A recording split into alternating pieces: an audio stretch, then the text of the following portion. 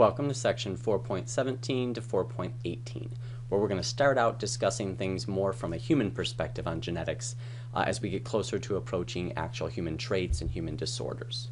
Now, to start off with humans, we might as well discuss the Human Genome Project, because this was a big project, international, where a bunch of scientists went through and took, I believe, five people, and they analyzed all 3 billion nucleotides that they possess every adenine, every thymine, every cytosine, every guanine.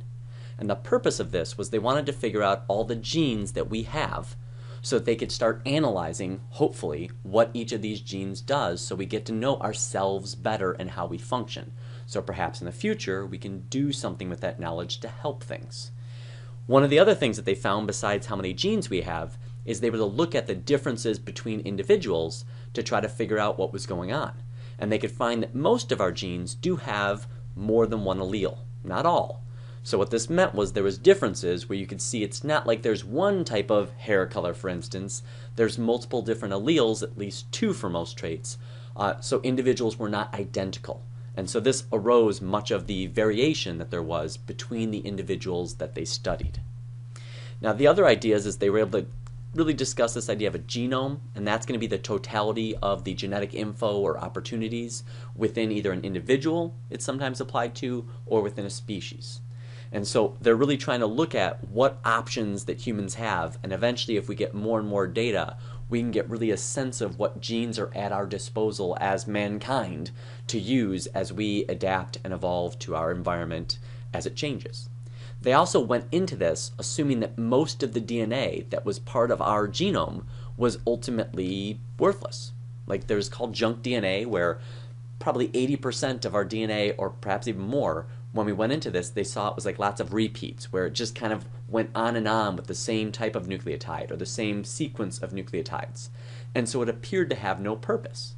And so they thought it's junk.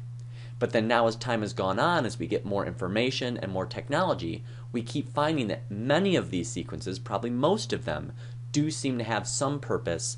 It may not be making a protein, uh, it may not be one of the most obvious ways of regulating, like some of the stuff that we've seen that directly regulate stuff, but it does seem to play a regulatory role, whether it's binding something, whether it's shifting something so it can bind to something else. And so we're finding more and more of what used to be considered junk does have a purpose. And so anymore, when we talk about junk DNA, we don't say it's useless, we just say it's DNA that has no known use currently. And then lastly, there's this idea that our chromosomes are going to be DNA that's wrapped around proteins called histones. All right? This helps us compact it when needed. Now, the genes are going to be sections of that DNA. You can see over here, these are some disease causing genes. This is chromosome 19, a smaller one. So, this is listing just these disease causing genes, not the other genes.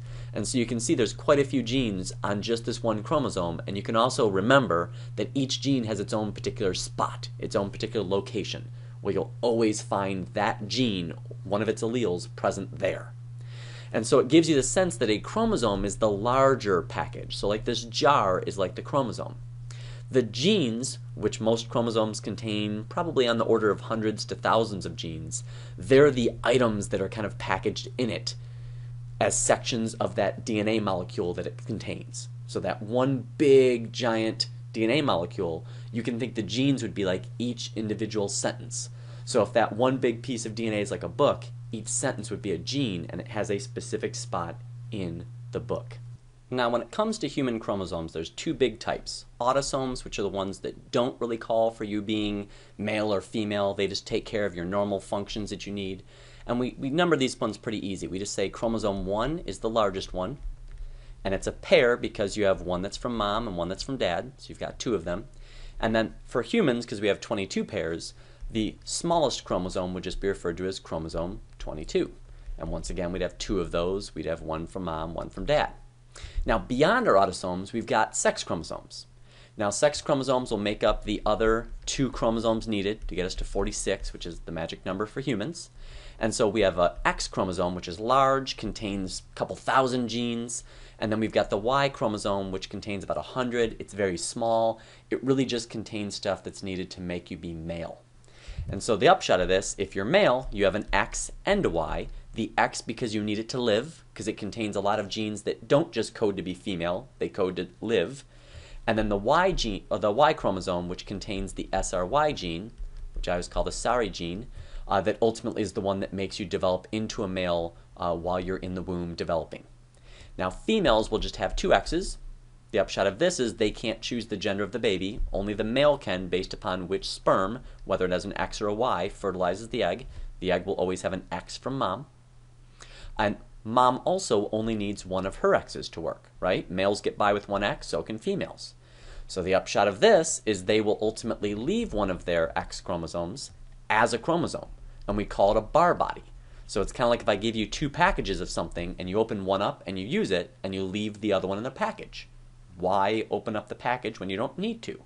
So they just leave the second X chromosome packaged up as a chromosome uh, rather than actually using it.